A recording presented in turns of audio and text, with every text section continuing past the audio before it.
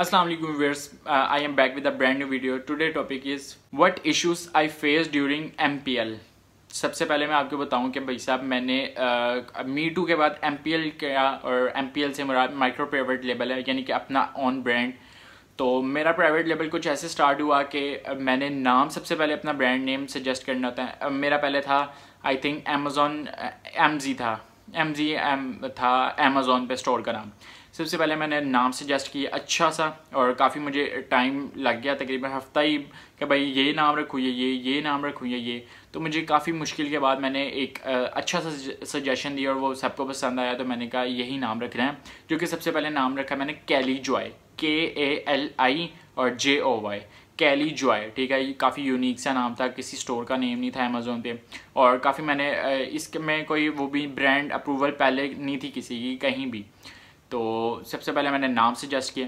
Then मैं as a graphic designer मैंने ख़ुद ही लोगो रेडी किया। आ, हाँ जी बिल्कुल मैं एक ग्राफिक डिज़ाइनर भी हूँ और मेरे पास काफ़ी स्किल है और मैं अपना काम खुद ही कर लेता हूँ।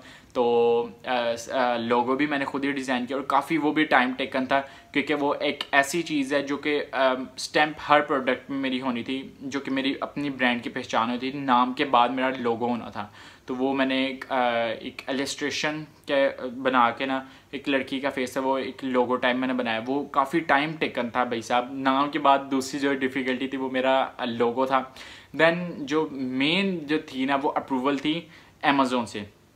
मैं आपको बताऊँ, आपने कभी भी घबराना नहीं है, ठीक है, कि आपकी कितनी दफ़ा रिजेक्शन हुई? क्योंकि मैं अगर आपको बताऊँ कि मेरी पाँच दफ़ा अप्रूवल रिजेक्ट हुई है अमेज़ोन की तरफ़ से तो भाई साहब आप कहेंगे, भाई, पाँच दफ़ा एक काफ़ी टाइम होता है। और पहली दफ़ा करने, पहली दफ़ा के बाद रिजेक्शन के बाद तो भाई साहब मैं कहा यार, ये क्या है? मैं तो एवरीथिंग मुझे अकाउंट का भी डर था कि भैया अकाउंट पे कुछ अफेक्ट ना हो जाए रिजेक्शन की वजह से। मैं आपको बताता हूँ कि सबसे पहले मैंने अपने चाइना सप्लायर अली बाबा से मेरा कॉन्टैक्ट हुआ एक चाइना सप्लायर से।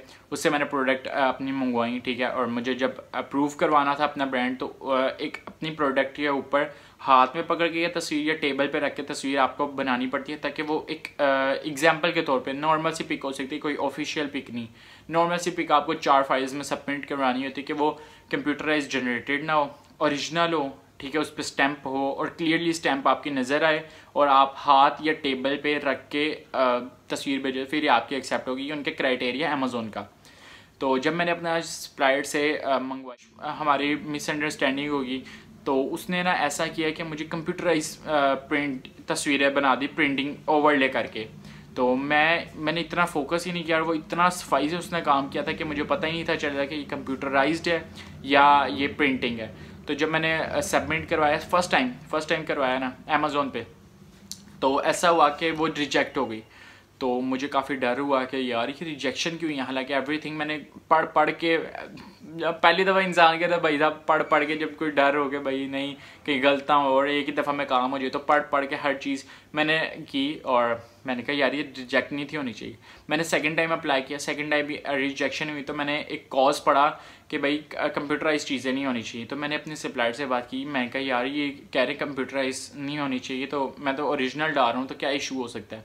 तो उन्होंने कहा आई एम सॉरी कि ये कंप्यूटराइज्ड है। तो मैं उसे काफ़ी कहा, मैं कहा, यार, मेरा अकाउंट पे कुछ हो सकता था, मेरा अकाउंट उड़ सकता था। मुझे डर था कि भाई कुछ इश्यूज़ ना हो जाए मेरे अकाउंट के साथ, कि मैं कंप्यूटराइज आ रहा हूँ। उन्होंने हालाँकि वार्निंग दी हुई थी कि हम कंप्यूटराइज नहीं एक्सेप्ट करते।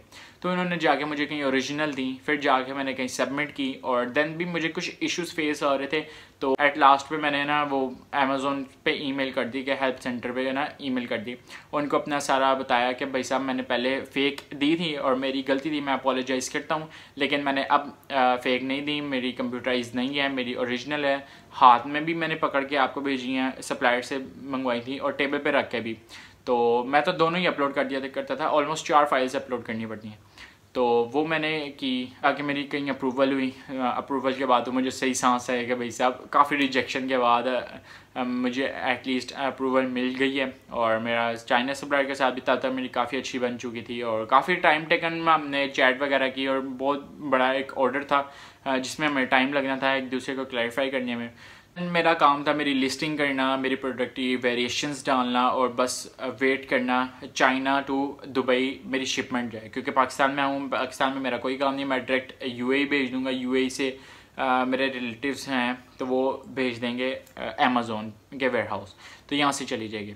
तो भाई साहब ये ये मुझे क्राइटेरिया था और ये ये इश्यूज़ हुए थे मुझे अमेज़ोन के MPL करने में माइक्रो प्राइवेट लेबल ठीक है, और मैं कहूँगा, आपको सजेशन दूँगा, एक अच्छा सा नाम रखे लोगो अच्छा सा हो, और आपकी तस्वीरें अच्छी हों तो आपका कोई इश्यूज़ नहीं होंगे। अगर फिर भी हो तो आप ईमेल पे रबता कर सकते हैं। वैसे होंगे नहीं, लेकिन ये है कि कंप्यूटराइज ना हो, और ऐसा हो कि ओरिजिनल तस्वीरें हों, बिल्कुल के स्टैंप हो वाकई उन पर तीसरा या चौथा ये है कि आप अपने हाथ पे रख के बनाएँ, या टेबल पे किसी रख के बनाएँ, कि ओरिजिनल इनकी पहचान हो जाती है एक।